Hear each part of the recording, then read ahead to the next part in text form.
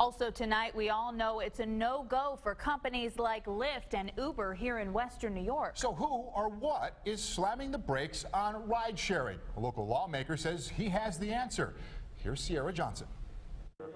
It's an issue lawmakers just can't seem to figure out ride sharing in New York State.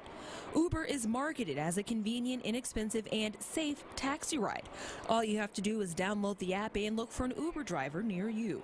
But the service is currently banned outside of New York City, and when the legislative session ended in June, lawmakers left the service as is.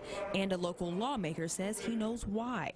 Special interest lobbyists that have a lot of influence in Albany uh, did put pressure on people to make that decision. It, whether it was a, a personal injury lawyer, uh, there are lobbyists that were not working on behalf of the citizens, and that's what we were sent to do. And that sentiment by Assemblyman Michael Kearns is shared by local personal injury lawyer Steve Boyd. Well, I agree with Mr. Kearns that, that there's too much power for the lobbyists in Albany. But Boyd says those interest groups didn't go to bat against Uber. They fought for tougher legislation on insurance, an issue several industries have raised, including the tax taxi industry.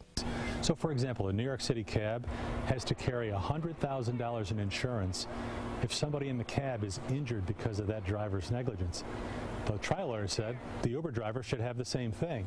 So that's not them saying keep Uber out. That's saying do what's fair, do what's smart for consumers. What really needs to happen is people need to come together and have common sense solutions to what's the safest way to have this new type of business in New York State. And Steve Boyd, that personal injury lawyer, says he believes ride sharing will make its way to Western New York, and it's not a matter of if, but when. Live in the newsroom, Sierra Johnson, 7 Eyewitness News.